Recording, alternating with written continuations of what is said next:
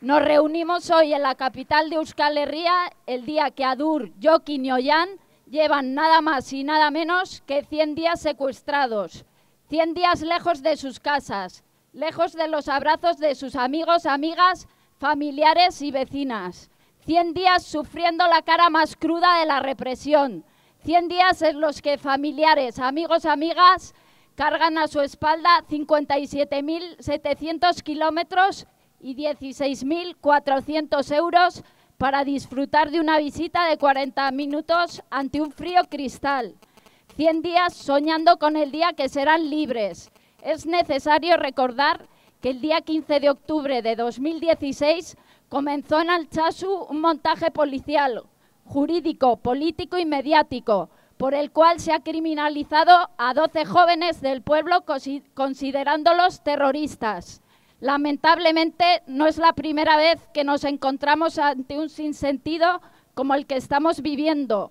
Si cerramos los ojos y echamos la mirada atrás, nos vienen numerosos nombres a la cabeza, tales como Víctor, Galder, Lander, Iñaki Gorka, Edurne, Odey, los y las compañeras de Burlada y Tolosa, Alfon y muchísimos más. Es por eso que hoy nos hemos acercado a Iruña, porque el caso de Alchazu no es un caso aislado, puesto que ha sido práctica habitual que en los últimos tiempos el sistema represivo en el que vivimos haya secuestrado a muchísimas personas luchadoras e inconformistas en frías celdas oscuras.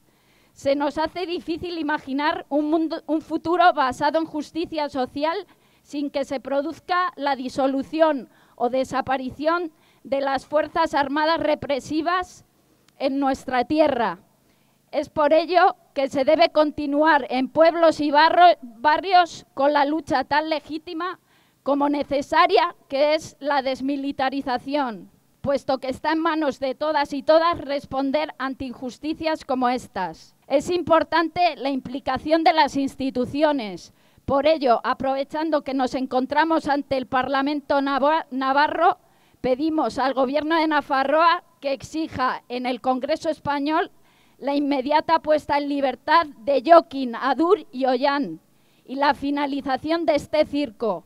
Todo ello sin olvidar que el pueblo es el único que puede liberar al pueblo de las frías manos de la represión.